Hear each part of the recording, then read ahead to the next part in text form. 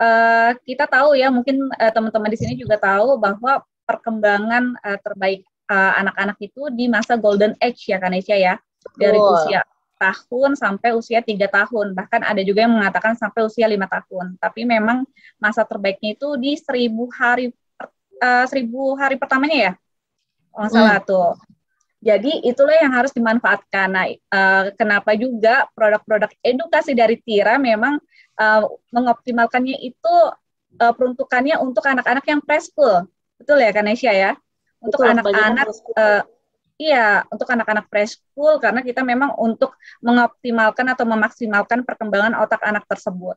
Nah, kalau misalnya teman-teman tahu nih ya, biasanya di usia 0 sampai 4 bulan itu kan perkembangan anak itu kalau yang saya ambil dari uh, Dokter Diah Novita ya, uh, beliau ini mengatakan kalau di usia 0 sampai 4 bulan nih Kanesha dan teman-teman itu mulai mengikuti objek dengan matanya, kemudian mulai bereaksi dengan suara dan bunyi, dan juga mulai mengenal ibunya dan mulai meraih benda. Jadi anak-anak di usia ini tuh perkembangannya mulai seperti itu. Jadi apa sih stimulasi yang tepat untuk anak-anak di usia ini? Yaitu teman-teman atau kita ya bisa mengajak anak mengenalkan ekspresi nih Kanesia. Simple banget, cuma ngajak anak-anak dengan tersenyum dan ber, uh, dan berbicara, ngobrol apa aja, memberitahu apa pun yang ada di sekitar. Kemudian uh, ajak anak mendengarkan musik. Nah, tentunya ini musik-musik yang memang disesuaikan ya Kanesia ya, jangan musik-musik uh, keras ya nanti uh, terganggu untuk pendengaran anak-anak. Gitu. Ya, kemudian bisa perlihatkan nih kasih sayang uh, orang tuanya kepada anak tuh sedini mungkin, bondingnya mesti benar-benar terikat. Nah, kemudian uh, orang tua atau orang uh, ibu atau ayahnya ya bisa menggantung benda-benda yang berwarna-warni yang menarik perhatian anak-anak nih Kanesha. Dan Kanesha tahu nggak sih, semua ini tuh ternyata ada di produknya English Time Baby Pack. Nah, yang sekarang dia. sudah Kanesia tampilin ya. Uh, ternyata benar, ini tampilnya hmm. udah full slide belum ya? Belum Kanesia, ini masih yang belum di slideshow.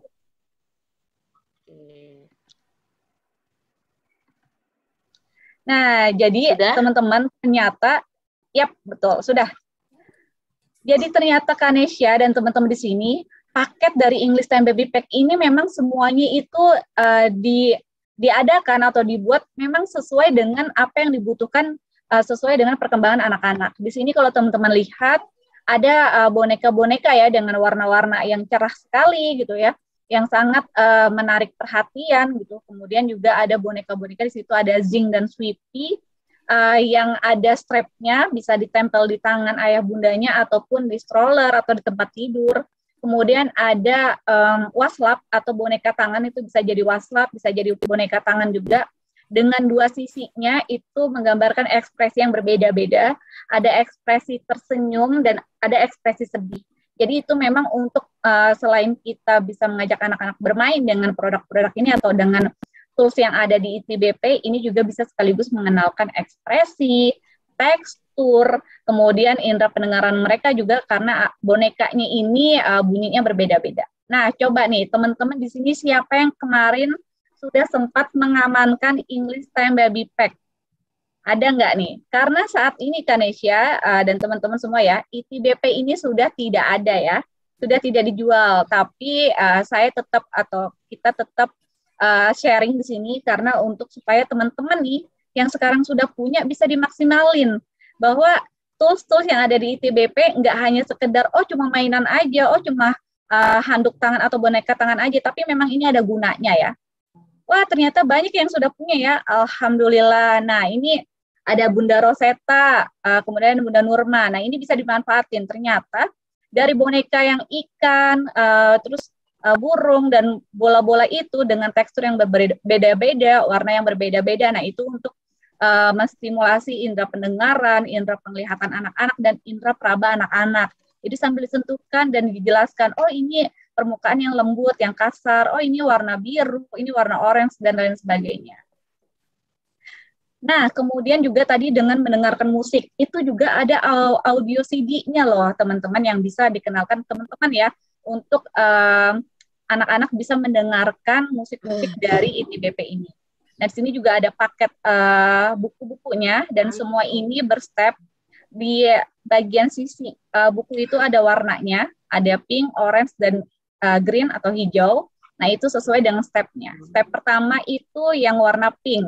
Kemudian kalau misalnya dianggap sudah anak-anak sudah paham di step pertama, teman-teman uh, atau ayah bundanya bisa lanjut ke step berikutnya yang berwarna orange. Nah, kalau dirasa anak-anak sudah uh, cukup ya, misalnya sudah masuk usia kedua uh, atau usia dua tahun, nih atau usia tiga tahun bisa lanjut lagi nih ke step terakhir yang berwarna hijau. Di situ sudah uh, mulai ke toilet training, kemudian sudah mulai anak-anak uh, apa ya uh, diajarkan untuk bagaimana cara berpakaian dan lain sebagainya. Jadi tingkatannya semakin sulit. Seperti itu. Nah, mungkin ini yang banyak jadi pertanyaan uh, pada saat itu teman-teman juga adalah bahasanya bahasa Inggris ya.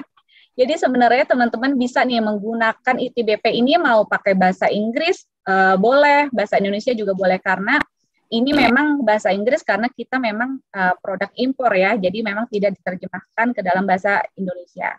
Tapi alangkah baiknya juga kalau teman-teman menggunakan buku ITBP ini juga menggunakan bahasa Inggrisnya karena secara tidak langsung kita mengenalkan bahasa asing sejak dini karena anak-anak yang kita tahu memang ahli bahasa juga ya. Jadi sedini mungkin kita juga sudah bisa membiasakan dan mengenalkan kosakata bahasa Inggris kepada anak-anak.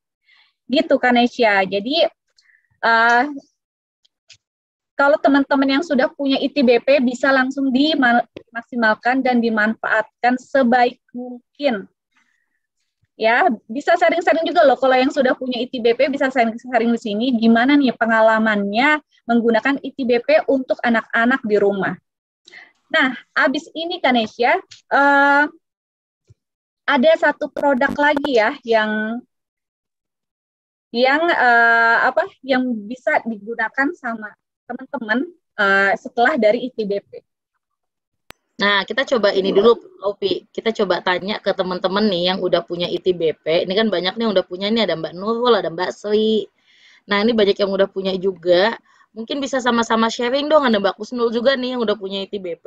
Nanti kita sama-sama sharing ya. Kebetulan anakku nih juga bayi eh, satu bu, satu tahun dua bulan nih satu tahun dua bulan lupa saya jadi satu tahun dua bulan gitu kan dan memang dari kecil itu udah familiar banget dengan yang namanya ITBP gitu jadi memang kepake banget buku-buku ITBP ini dari usia dia masih bayi banget pakai buku-buku yang kecilnya di stoler digantung-gantungin gitu jadi memang beruntung banget yang udah punya ITBP ya yang belum gimana ya? Yang belum mohon maaf karena sudah habis ya. Ya, uh, ini tadi keren banget ya ITBP ya. Jadi uh, semoga kita berharap ada produk lain yang ada di Tira dan bisa menggantikan ITBP. Amin. Amin. Mau nggak nih kalau ada yang menggantikan ITBP? Kira-kira nih ya kita tanya dulu kopi ya. Siapa yeah. tahu nanti muncul ya nggak? Iya. Yeah. kita coba tanya dulu deh nih. Siapa tahu kita bisa kabulkan ya Kanesha ya. Betul karena ITBP ini kan udah uh, discontinue ya, jadi sudah nggak ada di kita, udah nggak dijual juga. Kalau nih kita adakan lagi produk yang seperti English Time Baby Pack, kira-kira teman-teman senang nggak nih? Ya, kita coba lihat yuk komennya. Nah, sambil nunggu jawaban teman-teman, saya baca dulu nih dari Mbak Nurman nih. Alhamdulillah anak saya belajar kosakata nama hewan dari buku Animal Friends dan belajar toilet training dari buku ITBP. Sekarang ITBP nemenin adiknya yang yang baby. Hmm, sama banget nih. Jadi toilet training terus pakai bagaimana cara pakai baju itu tuh semua ada di ITBP. Dan itu ternyata kalau nanti teman-teman uh, nanti kan kita akan ke Hafiz Logic ya. Itu ternyata nyambung ya. nanti ya dijelasnya sama Kawenol ya. Itu ternyata nyambung loh ya. Nah, ini banyak banget kopi yang mau ITBP Hmm, mau banget, mau banget. Ya, banget ya, kita kan? Ya. Apalagi yang belum kebagian kemarin ya, Kanisha ya. Ternyata banyak, banyak banget yang belum kebagian. kebagian ya. Banyak gak sih nah. yang belum kebagian? Nah, Eh, kita berdoa semoga kita dimudahkan dan dilancarkan sehingga kita bisa menemukan eh, produk yang memang medianya seperti media ITBP yang bisa digunakan dari bayi. Gitu. Amin, amin, amin, amin. Karena memang kita harus memaksimalkan dan mengoptimalkan sedini mungkin ya Kanesha ya, karena masa-masa terbaik ini cepet banget berlalu Kanesha dan nggak akan pernah hmm. terulang lagi. Jadi jangan sampai ayah bunda atau teman-teman semua di sini menyesal ketika sudah anaknya sudah melewati masa eh, perkembangan terbaiknya tidak dimanfaatkan dengan sebaik-baiknya.